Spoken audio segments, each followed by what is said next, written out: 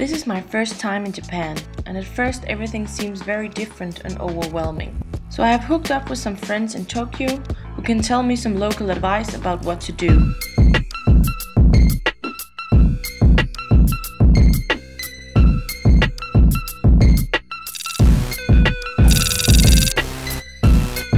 I think you should both experience something old and new.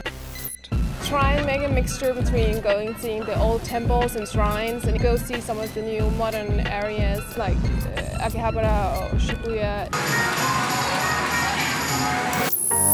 experience Tokyo because it's such a unique metropolis. But if you only experience Tokyo, you, you get a very one-sided view of Japan. Take the train and go to Kyoto. Have all the temples and shrines. Go to the countryside, see another part of, of Japan.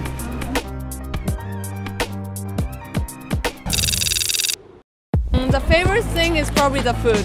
It's the best in the world. Many think of Japanese food as being mostly sushi.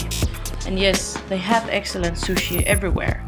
But it's also much more than that. And actually not as expensive as people think. You just go to a local restaurant. You can eat for less than 1000 yen and you will never get bad food.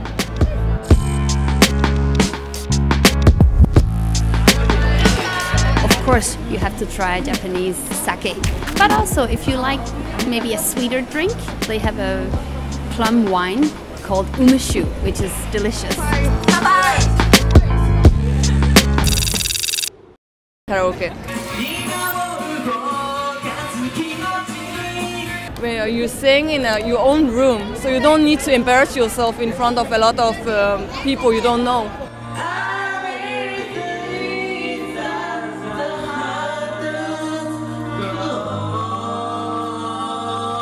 That's a lot of fun.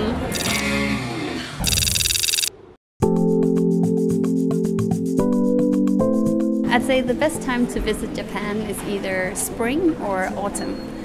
In summer it's too hot. It's, in winter it tends to be pretty cold. In spring you can enjoy lots of different flowers. The autumn colors are just amazing.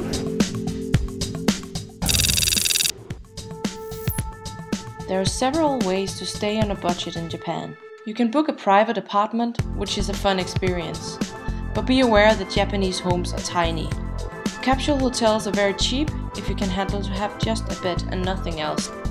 Most hostels are clean, safe and comfortable and you get very good value for the money. If you want to try a more traditional Japanese way of sleeping, you should stay at a ryokan. Remember to book ahead. Hotels and hostels are often full during high season. If you're ever invited to someone's home, um, always remember to take off your shoes. it's really a no-go entering a home with shoes on, even if they're not dirty.